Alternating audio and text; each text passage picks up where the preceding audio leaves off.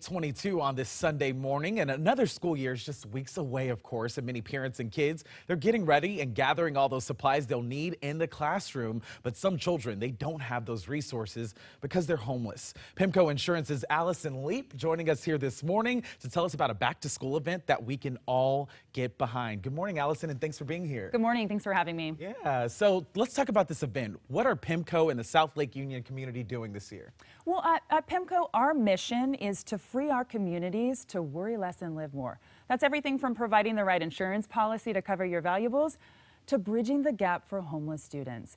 And so that's exactly what we're doing with this back to school drive. It's called our Supply Surge, and we will be supporting Seattle's middle and high schools with the highest number of homeless students. But we're not doing it alone. Okay. We have a mighty super team behind us. We have in all 32 South Lake Union businesses coming together, linking arms with us to make a huge difference for these homeless students. Um, we, we all believe that they need our help and support. We're going to do what we can. In fact, we know we can make a big impact.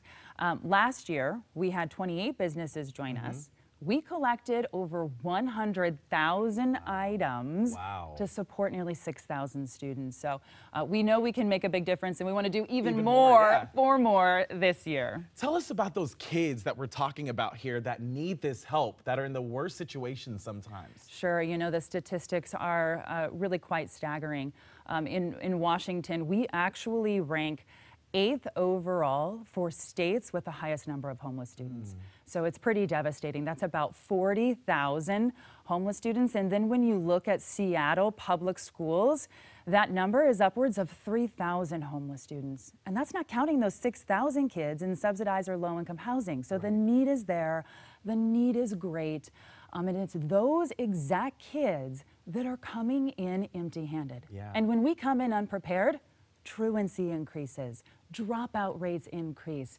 And we know that that achievement gap gets bigger and bigger, and graduation becomes that much more difficult. So these supplies really important here. Tell us about the types of supplies that they will be needing. What's the most important this year? Oh, more honestly, we need just the basics, yeah. right? I mean, things like rulers and highlighters, dividers, binders, all of those things. Um, and because we are targeting middle and high schools, we also need things like scientific calculators. We also need things like composition notebooks. And so how does Supply Surge work? Tell us a little bit about that. Yeah, so PEMCO and our super team, those 32 businesses, really are just coming together to try and gather as many supplies as we can. And we're actually inviting anyone to join. You don't have to be in South Lake Union. You don't have to be in Seattle. Uh, so to make it easy for anyone to join, you can just head over to our donation site at pemco.com slash supply hyphen surge.